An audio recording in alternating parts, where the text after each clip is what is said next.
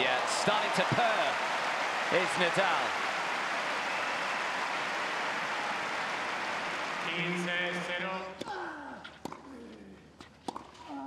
Yeah, it's too good from Nadal.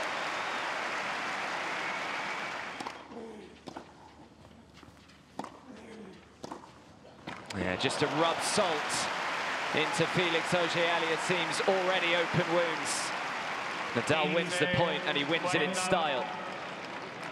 Just a bit of tactical naivety here.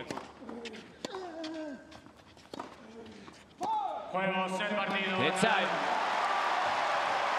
And the king of clay showing the young prince that he still reigns supreme on the dirt. A solid opening display from Rafael Nadal, the five-time champion here in Madrid, against a potentially very tricky opponent in the 18-year-old superstar. A lot has been made of Nadal's form coming into this week. And you can see